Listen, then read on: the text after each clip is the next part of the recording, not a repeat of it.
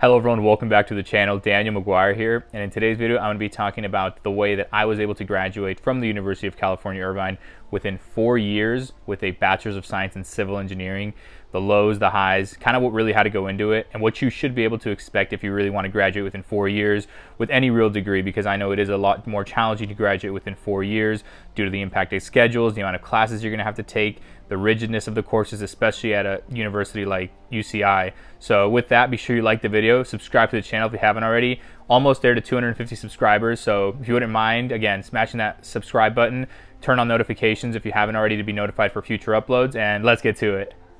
So naturally, if you're going to graduate within four years, you're going to have to take a lot of your classes in a short amount of time.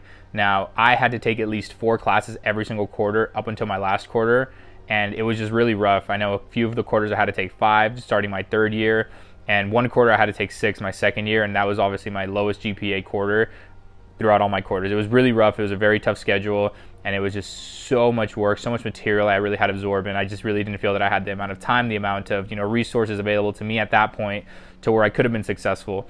I do regret taking that six class quarter because I think I could have moved it around a little bit more to make it a little easier on myself that quarter. That was the first quarter that I was commuting as well, so it made it a lot more challenging to really figure out how I was going to do everything, how to study, and so on and so forth. But again, you're going to have to take at least probably four classes every single quarter if you're coming in with, you know, very little AP credits or any other community college transfer credits. So again, touching on the community college transfer credits or AP credit that you get from high school, I came in with about 16 to 20 AP units and AP credits from my AP exams in high school, and I still had to take I think 3 classes at a community college and again, all of those coupled with the fact that I still had to take four classes every quarter, it was really a lot of work. So definitely, you know, you're gonna have to come in and get ready to put in a lot of work. Maybe you go to a community college every summer to put in the amount of time that you can get for your units, or you come in with AP credit or transfer credit again. But really, you're going to have to hit that unit count. And then, even if you have the unit count, you still have to meet the minimum requirements for your specific major. So, another thing to consider when you're coming in, deciding for your classes, deciding for your units, and if you should take other avenues for, you know, credits or units. So the next thing that I really did to graduate within four years was that I had a very tight knit study group and you know networking with myself and other people that really benefited myself so that I could pass my harder classes, especially when I got into the latter part of my second year into my third year. I had a real study group that we would study. We would, you know, collect as many resources as we could to study for the midterms, for the finals. Everything that we could possibly do to study together, we did because, again, some of the course load was very, very rigorous.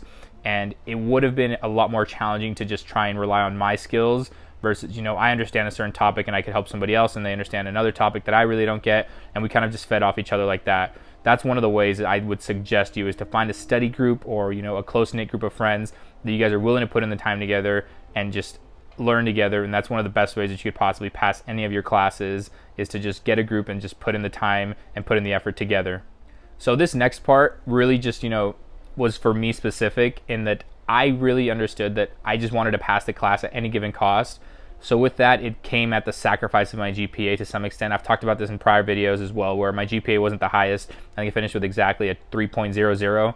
So it was very, very on the close edge. But again, I had to compromise for some of my finals and some of my classes where I knew I had an A secured in one class and I wouldn't study for the final at all.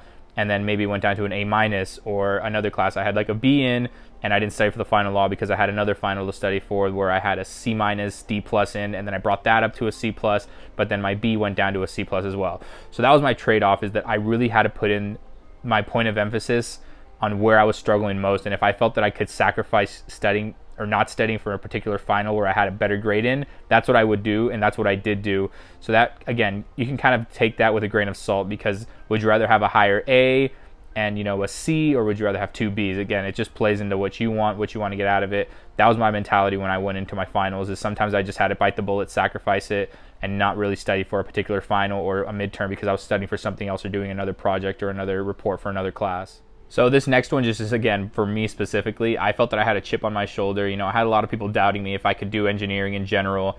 Because again, I'm a first gen student, so a lot of people said, "Oh, engineering that's a little bit tough. Are you sure you can even handle it?" I heard that all throughout high school, even my first and second year. I doubted myself because of everybody that was kind of you know chiming in my ears and kind of just you know giving me these you know grains of salt of um, you know insults or kind of just demeaning. So that really put a chip on my shoulder, and I really wanted to make sure that for myself I was able to do it. So that really motivated me, and that was one of my key motivations. Was not only was I doing it for myself, but I was doing it to really quiet the people that really doubted me or said that I couldn't do it because I knew myself that I could, and I did enjoy this subject to some extent that I was able to graduate again within four years.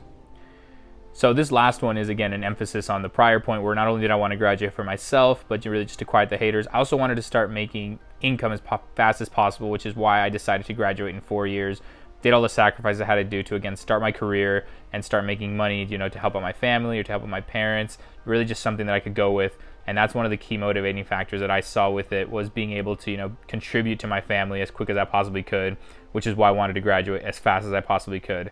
So with that, be sure to leave a comment down below and make sure that if you have graduated within four years, how you did it, or if you took five years, or maybe you did it in three years, what was your secrets? What maybe took you longer? Maybe it was a couple of GE courses here or there, a class that you might have failed, you know, and you had to redo it, set you back some. Be sure to leave it in the comment section. Really trying to again engage the community, grow the channel together. And with that, uh, thank you for watching.